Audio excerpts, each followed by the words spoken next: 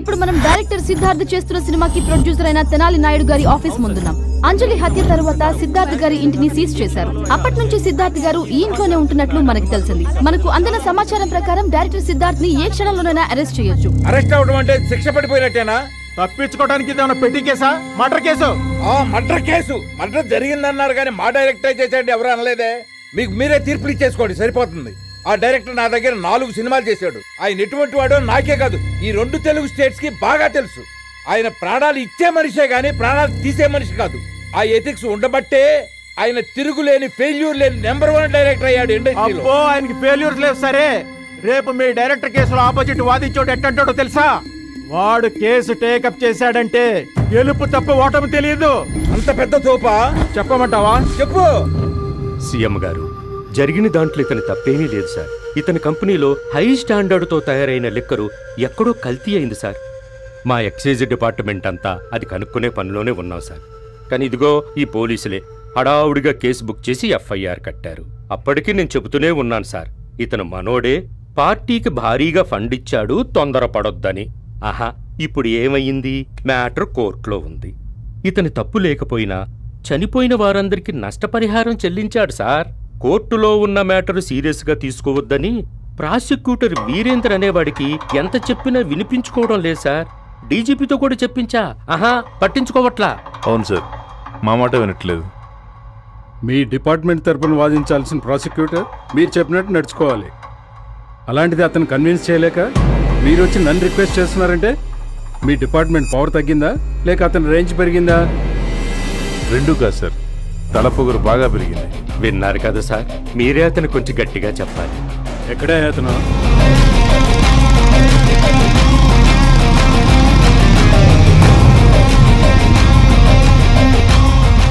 ఏంటయ్యా వీరేంద్ర అంటే నువ్వేనా? అవును సార్.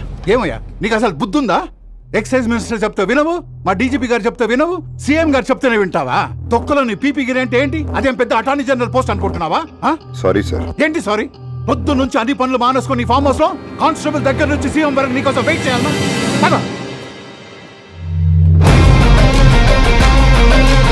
వస్తున్నాడు సార్.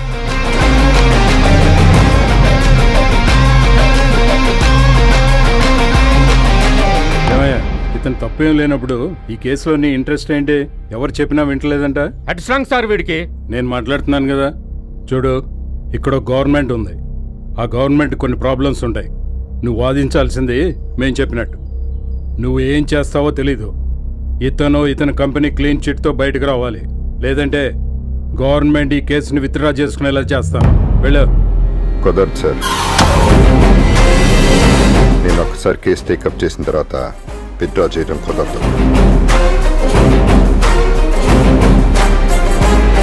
ఏంటి? విత్డ్రా చేయటం కుదరదా? కుదరదు సార్. ఏయ్!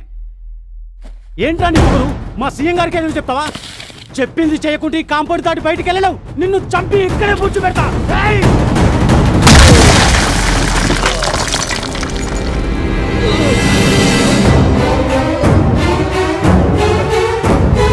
గుడ్ షాట్ ఎవరిని కొట్టాలో వాడిని కరెక్ట్గా కొట్టావు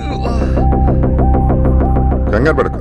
బతికే ఉన్నాడులే కాకపోతే సెక్షన్ త్రీ నాట్ ఎయిట్ ప్రకారం నాలుగేళ్ళు జైలు శిక్ష. సార్ మీకు తెలుసో తెలీదో ఈ కల్తీ లిక్కరికి సంబంధించిన సాక్ష్యాధారాలు నా దగ్గర ఉన్నాయి. ఆ ఆధారాలతోనే మాట్లాడుతున్నాను. వీళ్ళు కిక్ ఎక్కడం కోసం మెథైల్ ఆల్కహాల్ని లిమిట్కి మించి కల్తీ చేశారు. గవర్నమెంట్కి ట్యాక్స్ ఎగ్గొట్టి ఈ లిక్కర్ని డైరెక్ట్గా షాపులకు సప్లై చేసి యాభై మంది చావు కారణం అయ్యారు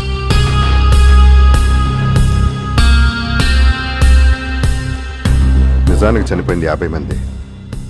కానీ రోడ్డును పడింది యాభై కుటుంబాలు సార్.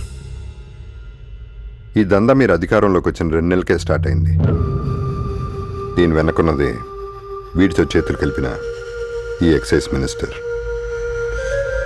మనం తయారు చేసిన చట్టమే కదా అని దాంతో ఆడుకోవాలనుకుంటే మాత్రం చుట్టలాగా చుట్టి మట్టిలో కలిపేస్తుంది. కల్తీ లిక్కర్ తయారు చేసినందుకు excise act section thirty five యాభై మంది చావు కారణమైనందుకు IPC section three nought two ప్రకారం వీళ్ళిద్దరికి ఐదు నుంచి పదేళ్ళు జైలు శిక్ష పదివేలు జరిమానా. విధి ఉన్న ప్రాసిక్యూటర్ మీద ఒత్తిడి తెచ్చి వీళ్ళిద్దరిని సపోర్ట్ చేసినందుకు IPC section thirty four abetment act కింద ఆరు నెలలు పీపుల్ రిప్రజెంటేటివ్ యాక్ట్ కింద రెండేళ్ళు మీరు కూడా జైలుకి వెళ్ళక తప్పదు.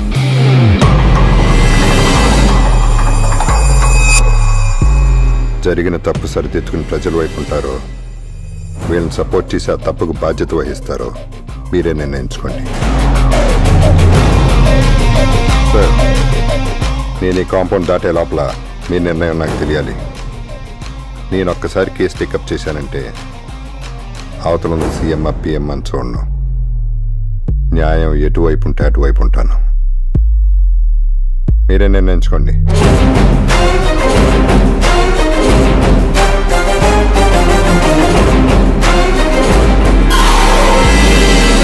ఇప్పుడు అర్థమైందా? మా టెన్షన్ ఏంటో?